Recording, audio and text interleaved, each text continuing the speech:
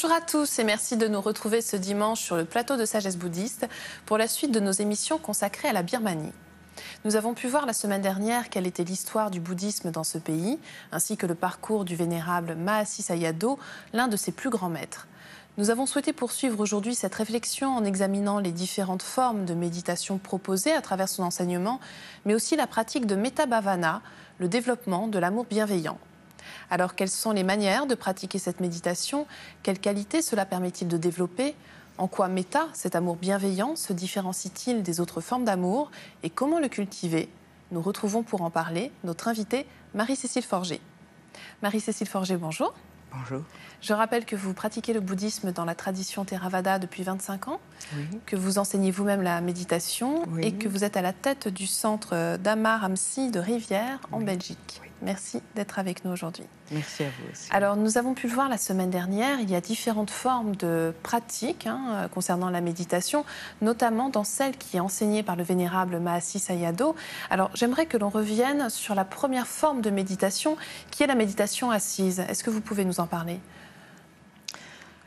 Donc tout d'abord, il faut savoir que dans la méthode de Mahasi Sayadaw, on, va, on opte pour la pratique intensive. Ceci, c'est un, euh, cela veut dire que le méditant va devoir se retrouver dans un centre de méditation dans des conditions tout à fait artificielles. Mais le but, c'est d'intégrer tout cela par la suite dans sa vie de tous les jours. Mhm. Dans un centre de méditation, on va alterner la marche, l'assise et les activités quotidiennes. Ce sont les trois formes de méditation dans la tradition de Mahasi Sayadaw. Pour ce qui est de la méditation assise, le méditant doit commencer par se trouver une posture dans laquelle il se sente bien. Il s'assied en général en tailleur, dans la posture dite birman, les jambes posées à plat sur le sol, parallèlement l'une à l'autre. Ce n'est pas la peine de s'asseoir en lotus ou en demi-lotus. Ces postures sont très difficiles pour les Occidentaux. Mhm. Il va ensuite devoir diriger son attention vers les mouvements de l'abdomen les mouvements de l'abdomen sont provoqués par la respiration, mais c'est le mouvement qu'on observe. Chaque fois que l'abdomen va se soulever, il doit en prendre conscience. Chaque fois que l'abdomen va s'abaisser, il doit en prendre conscience. Il doit être attentif. Et en même temps, il doit étiqueter mentalement le phénomène en répétant mentalement soulèvement lorsqu'il sent le, mouvement de soulèvement, abaissement lorsqu'il sent le mouvement d'abaissement. Cette technique de l'étiquetage est propre à Mahasi Sayadaw. Elle est très recommandée au début parce qu'elle permet de maintenir l'esprit fixé fermement sur l'objet d'attention. Mm. S'il n'étiquette pas les phénomènes, le méditant aura tendance à penser. Mais ce qu'il faut bien comprendre, c'est que Vipassana, c'est observer tous les processus physiques et mentaux qui se manifestent à chaque instant dans le corps et dans l'esprit. Donc le méditant ne doit pas se limiter à l'abdomen. Il y aura des pensées, il y aura des émotions, il y aura des sensations physiques, souvent très désagréables au début. Il y aura des bruits, il y aura des images, il y aura des odeurs. Tout cela, il devra en prendre conscience avec la même qualité d'attention, donc objective et précise. Mhm. Et alors, qu'en est-il de la marche attentive dont vous parliez tout à l'heure? Alors, après une heure de méditation en posture assise, le méditant va passer à la marche. C'est une façon de relaxer le corps, mais aussi de continuer à développer son attention et sa concentration. Le méditant commence par se choisir une piste de marche qu'il va parcourir de long en large et il observe les pieds. Il oublie l'abdomen. Ce sont les pieds qui sont l'objet primaire d'attention. Chaque fois que son pied va s'élever, il doit noter lever. Chaque fois que son pied s'avance, il note avancer. Chaque fois qu'il s'abaisse ou se pose, il note poser. Mhm. La prise de conscience doit être synchronisée avec le mouvement pour que la concentration se développe. Et il fait la même chose de l'autre côté, et ainsi de suite sur toute la longueur de la piste. Petit à petit, il va ressentir ces mouvements à des niveaux de plus en plus profonds, de plus en plus subtils. Et vous le mentionniez euh, tout à l'heure, l'idée, l'objectif du moins, c'est ensuite d'intégrer cette méditation dans nos activités quotidiennes.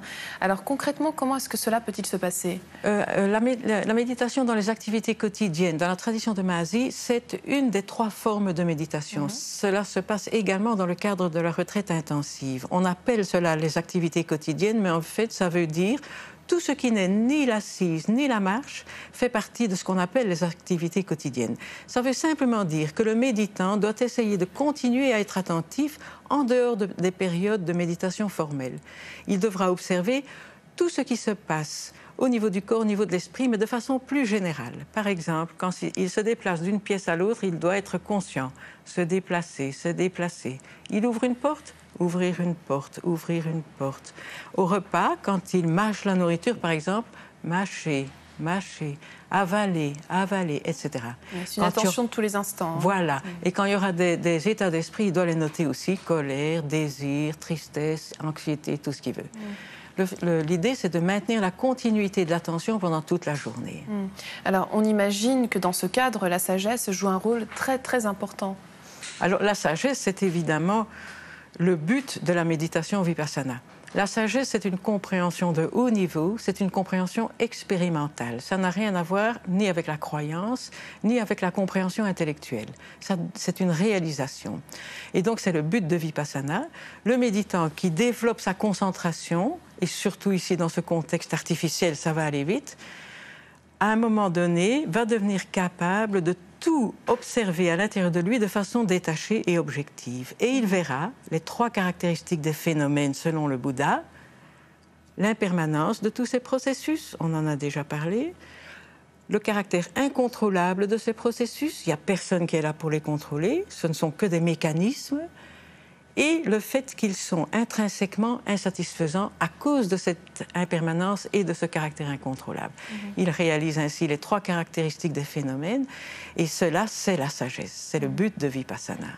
Alors nous venons d'évoquer pardon, les différentes pratiques telles qu'elles sont enseignées par euh, le vénérable Mahasi Sayadaw. J'aimerais que l'on parle maintenant de Metta Bhavana. Alors c'est le développement de l'amour bienveillant. Euh, c'est un terme assez vaste. Hein. De quoi s'agit-il plus précisément, Marie-Cécile Forger alors, méta, c'est un mot qui veut dire amour bienveillant. C'est un des quatre états sublimes, les trois autres étant Karuna, la compassion, Mudita, la joie sympathique et Upeka, l'équanimité. Ces états sont dits sublimes tout simplement parce que ce sont des êtres sublimes qui les irradient en permanence. Mhm. Les êtres sublimes, ce sont les personnes qui ont développé de très hauts niveaux de concentration. Et donc la compassion joue un rôle euh, à l'intérieur même de Metabhavana. Alors euh, la compassion, c'est un des états sublimes, hein, c'est Karuna. Dans la tradition Mahayana, on parle de Karuna, la compassion. Dans le Theravada, on parle plus volontiers de Metta, l'amour bienveillant. Mais en réalité, c'est un petit peu la même chose puisque si on développe un des états sublimes, les trois autres le sont automatiquement. Mhm. Et alors pourquoi est-ce que c'est si important de développer Metta Bhavana Pourquoi cette forme de pratique est essentielle? Alors la pratique de Metta Bhavana est très intéressante parce qu'elle va permettre d'amener beaucoup plus de paix et d'harmonie, non seulement à l'intérieur de soi, mais dans ses relations avec autrui. C'est une méthode qui consiste à irradier des vibrations positives vers son entourage immédiat d'abord, et puis vers la totalité des êtres vivants partout dans l'univers par la pensée. Donc euh, c'est facile à comprendre. Quand on est fâché, on est envahi par toutes sortes de sensations désagréables, comme la chaleur, la dureté, et ces vibrations euh, négatives vont se propager à notre entourage immédiat automatiquement. Mhm. Que nous le voulions ou non, les autres vont, euh, vont souffrir, vont être influencés par ces vibrations négatives. L'inverse est vrai également, évidemment. Si ce sont des sensations positives que nous ressentons, comme de l'amour bienveillant, de la compassion, euh, ces vibrations positives vont aussi se propager à notre entourage immédiat. Hmm. Et je crois que ce qu'il est important aussi de préciser, c'est que cet amour bienveillant, on se l'envoie tout d'abord à nous-mêmes au départ, je crois. Hein. Oui, tout à euh, fait. Tout à fait. C'est facile à comprendre, ce n'est pas égoïste, mais il faut dans un premier temps que nous soyons en paix que nous soyons heureux, sans quoi il sera impossible d'irradier des vibrations positives. C'est pourquoi dans la tradition, on commence toujours par soi-même. Mhm. On commence par s'envoyer des pensées bienveillantes à soi-même, se souhaiter des choses positives, éventuellement, par exemple, pratiquer le pardon. Mhm. On demande pardon à tous ceux qu'on a offensés mentalement. On, on, pardonne à tous ceux qui nous ont offensés. De cette façon, l'esprit va se calmer, devenir plus bienveillant. Et à ce moment-là, il deviendra possible simplement de faire partager aux autres ces énergies pures qu'on ressent à l'intérieur de soi. Et en quoi cette forme d'amour se distingue des autres euh, formes d'amour, notamment celui, par exemple, que l'on peut porter à sa famille, à ses enfants, euh, à son conjoint? Alors, euh, méta, c'est donc euh, un amour qui est totalement pur. Dans la société, il y a beaucoup de sortes d'amour. Il y a l'amour des parents pour les enfants, il y a l'amour des enfants pour les parents, l'amour des amis entre eux, etc. Mais aucun de ces amours n'est totalement pur, parce qu'ils s'enracinent tous dans l'attachement, ce qui est tout à fait normal. Alors que là, on n'attend plus rien, c'est cela? Oui, les, parents, ils, aiment leurs enfants, mais pas nécessairement les enfants du voisin.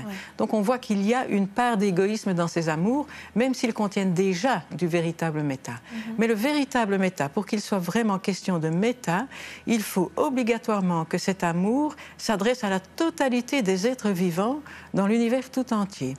Il faut qu'il se donne sans aucun espoir de retour et qu'il soit libre euh, d'égoïsme. Il ne doit contenir aucune forme d'attachement, de désir ou d'égoïsme. Alors seulement on parle de méta. Mhm. Et est-ce que vous pensez qu'il y a des conditions plus ou moins favorables pour pratiquer cet amour bienveillant?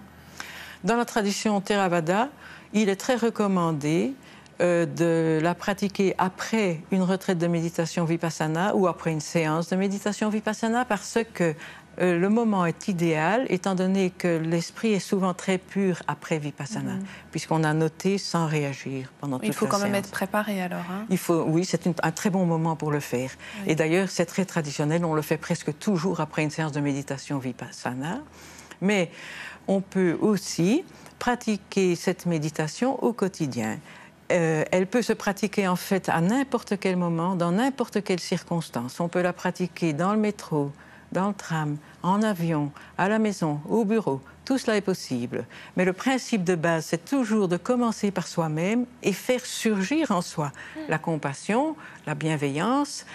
Euh, et essayer d'éliminer tous les états d'esprit négatifs qui pourraient se trouver en nous et empêcher euh, la pratique de méta.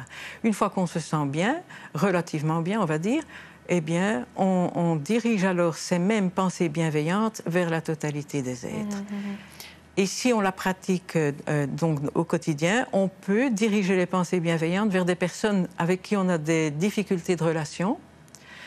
Euh, on peut prendre l'habitude de le faire.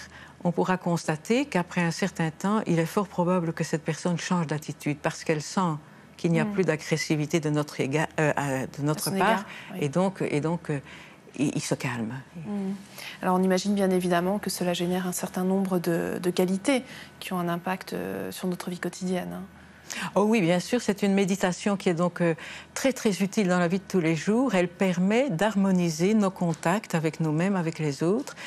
Euh, on compare dans la tradition, on compare méta à l'eau. L'eau, c'est ce qui unit. Mhm. Par exemple, si on mélange de l'eau à la farine, les particules de, farine vont rester collées ensemble. Mhm. Dans la société, c'est la même chose. S'il n'y a pas l'eau de méta, les membres de la société seront désunis. Par contre, s'il y a méta, les membres de la société resteront unis. Et ceci, évidemment, est très important et très bénéfique pour la société. Très bien. Nous allons nous quitter sur euh, cette très belle image. Merci beaucoup, Marie-Cécile Forger. Merci à vous aussi. Et pour terminer, voici quelques livres. Tout d'abord, Les plus belles paroles du Bouddha aux éditions Sully. Ces versets du Dhammapada, l'un des plus anciens recueils des enseignements du Bouddha, sont traduits et présentés par Jeanne Chute et illustrés par Georges Krichy. Dans cette vie même, le chemin de libération, enseigné par le Bouddha, de Sayadaw ou Pandita aux éditions Adyar. Vous y retrouverez une analyse fouillée et précise du fonctionnement de l'esprit et de la pratique méditative dans un style clair et abordable. Et enfin, toujours aux éditions Adyar, vocabulaire pali-français des termes bouddhiques de Nyana Tiloka. Pour tous ceux qui souhaitent apprendre les textes originaux pali du Dhamma, leur signification et connotation afin de mieux comprendre l'enseignement fondamental du Bouddha. C'est la fin de notre émission. Vous pouvez la revoir pendant toute une semaine sur le site internet de France 2 en consultant plus.fr, rubrique France 2. Merci à tous de votre fidélité. Je vous souhaite un très très beau dimanche.